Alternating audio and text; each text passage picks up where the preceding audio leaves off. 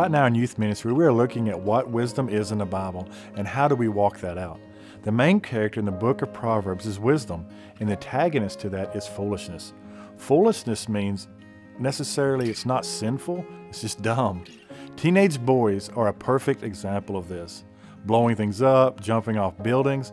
One thing we did as teenagers, and I admit wasn't very smart, but it was something we still did, was take a bow and arrow, and the arrow did have a blunt tip, and stand in a circle and shoot it straight up in the air, and see who would stay in the circle the longest. Now, admittedly, that was not even close to smart. But again, we never made that claim at 16 years old. There are a few myths out there of what wisdom really is. Three of those myths are this. Number one, if you're old, you're wise. So you can be old and foolish, and you can be young and still incredibly wise. Myth two, if you're smart, you're wise.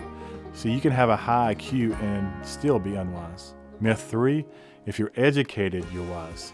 So you can have a PhD and still be foolish. See, none of these are 100% true. So what is the difference in knowledge and wisdom?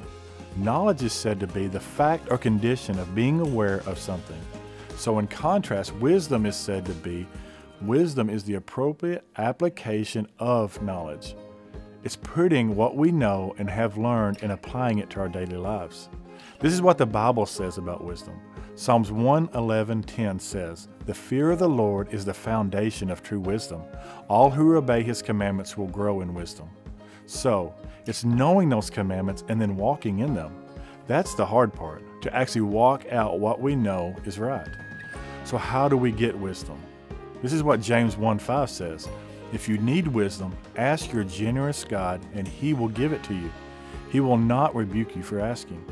So, let's get this in order. We need to be in the Word and be reading Scripture to gain knowledge of how to walk out our lives and do it according to God's plan. But the power to walk that out comes through wisdom.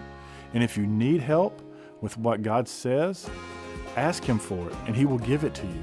Check your hearts this week and ask, Am I using wisdom to walk out what I know God has already spoken to me?